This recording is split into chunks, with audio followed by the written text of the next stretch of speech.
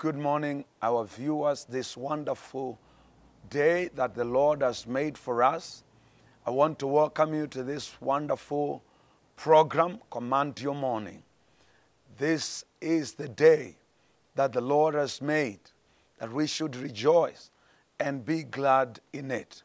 My name is Reverend Peter Kyengo, coming to you from Faith Life Evangelistic Church in Machakos Town. As you enter Machakos Town, you take the turn to Kangundo after Ruby's petrol station. Right after the, the, the, the, the, the, on that road, about 200 meters, you will find our church on the left side. We are situated there, and it is our joy to have you this morning viewing this wonderful program as we share and fellowship together in the Word of God. I want us today to look at the topic faith for the adventure. Faith for the adventure of life. Faith, you require faith to adventure in life. As you start today, as you go out for your business, as you go out to your workplace, you need faith. You need faith. And allow me to invite you to the Word of God in the book of the Gospel of Mark, chapter number 4, verse number 35. The Gospel of Mark, chapter number 4, verse number 35. The Bible says in the Gospel of Mark, chapter 4, verse number 35, the Bible says, On the same day, on the same day, when evening had come, he said to them, Let us cross over to the other side. Now, when they had left the multitude, they took, they took him along in the boat as he was, and other little boats were also with him. And a great windstorm arose, and the waves beat into the boat, so that it was already filling. Verse 38 But he was in the stern, asleep on a pillow. And they awoke him and said to him, Teacher, do you not care that we are perishing? Verse 39 Then he arose and rebuked the wind and said to the sea, Peace be still. And the wind ceased, and there was a great calm. Verse 40 But he said to them, Why are you so fearful? How is it that you have no faith? How is it that you have no faith? And they feared exceedingly and said to one another, Who can this be that even the wind and the sea obey him? This morning, as we look forward to a great day today, I want to tell you that faith is critical for the voyage of life. Faith is great, it is, is a must as you adventure in life. You need faith, my sister. As you step out to your business, I pray that you will step out by faith. As you go to your office, may you go today by faith. You could be watching us in an hospital. You could be watching us somewhere. But I want to challenge you to lift up your faith and to believe God. Why? Life is an adventure, a trip, and a voyage. It is a passage. And in the adventure of life, in the trip of life, you need faith. Faith is needed for the adventure and the trip of life. As you go out, you need faith. As you go to your workplace, you need faith. As you prepare for your journey today, you need faith. Whatever that you do, the Bible says it is impossible to please God without faith. And I'm praying for you, my sister. I'm praying for you, my brother. In whatever you're going to do today, may you do it by faith because it is by faith that we are guaranteed success. The story that we've read, the Bible says when evening had come, the disciples of Jesus, they were with a large multitude. And when the multitude, had, uh, when the evening come, the Bible says, in verse number 35, Jesus said to them, Let us cross over to the other side. They left the multitude. They left the multitude on the other side by the word of God. And as you step out, may I declare the word of God. May you go by the word of God. May you go by faith. May you go believing in the Lord. May your journey be a success today. May your business be a success today. I am challenging you, my brother. I'm challenging you, my sister, to lift up your faith in God, to trust in the Lord. In the name of Jesus Christ. Life, faith is needed in everything that you do. Everything that you do in life, whatever you plan to do, employ the spirit of faith. In all your errands, in all your plans, add faith to it. Why is faith necessary? In this life, in the adventure of life, when they were stepping out, Jesus had spoken words to them. Let us go to the other side. The Bible says, as they were going, as they were journeying, as they were sailing, the Bible says there was a heavy storm. In the life that we live, storms will come. In the lives that we live, we will encounter different issues. We will encounter different challenges. We will encounter different types of storm.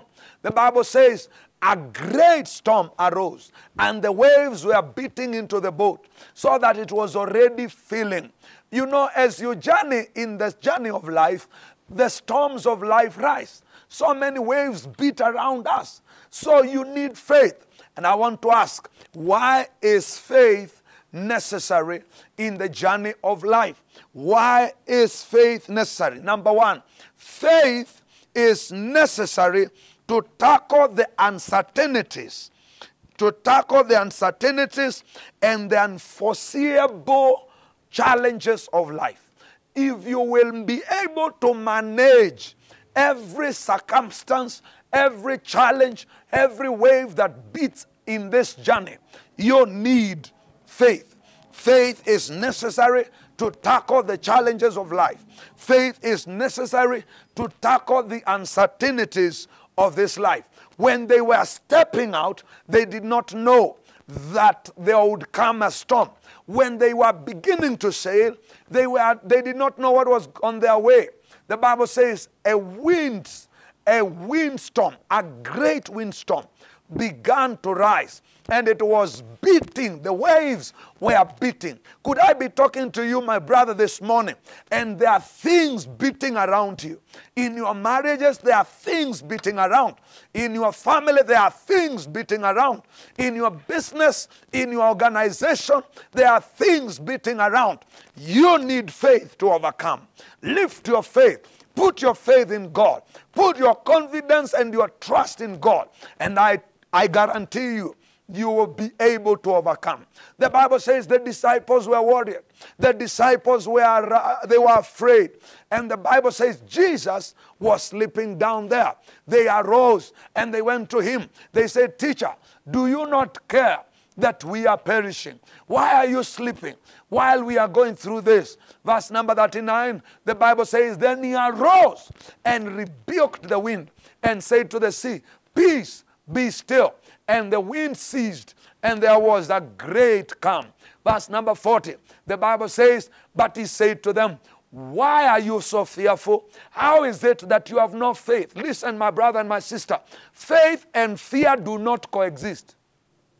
As you step out, don't step out in fear. As you step out, don't step out in anxiety. As you step out, don't step out with worry. Step out by faith. Go to that business today open by faith. As you go for that appointment, as you go for that interview, go by faith.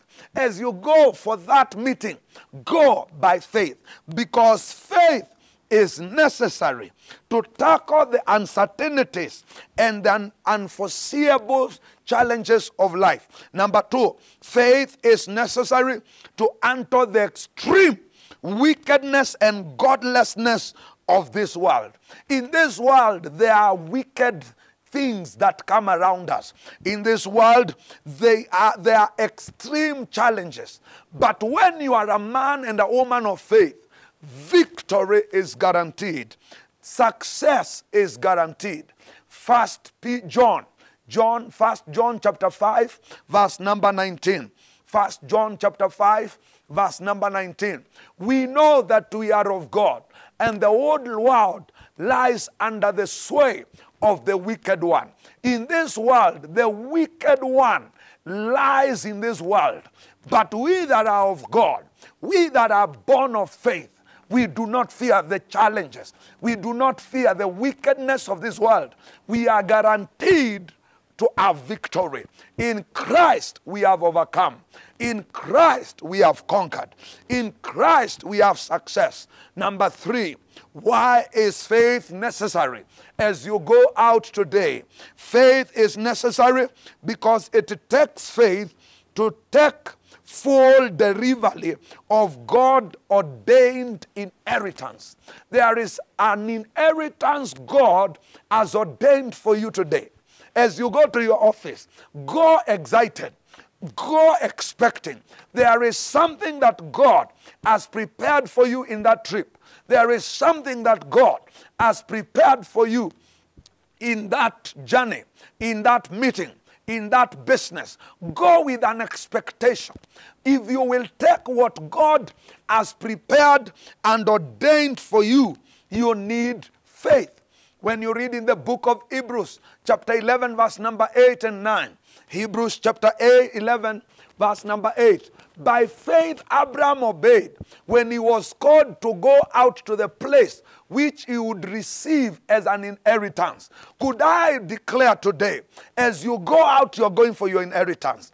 Could I declare today as you go to that business, may you find your inheritance. The Bible says Abraham obeyed when he was called out to go out to the place which he would receive as an inheritance. And he went out, not knowing where he was going.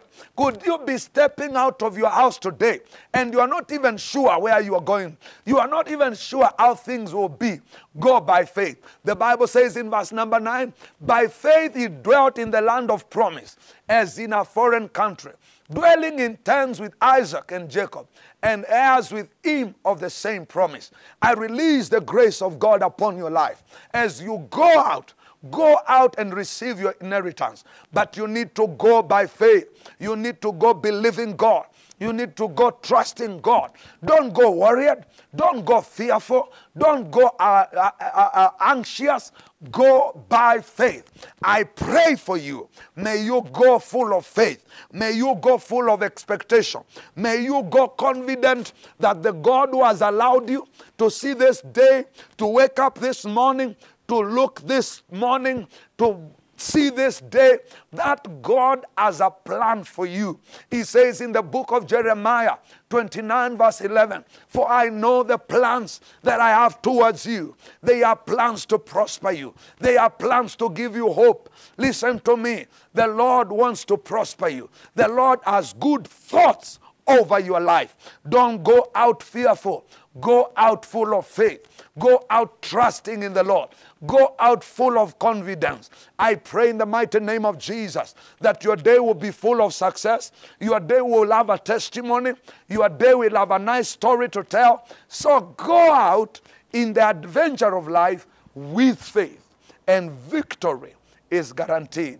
But listen to me, my brother and my sister. Before I close, it all starts by accepting the Lord Jesus as your Lord and your Savior.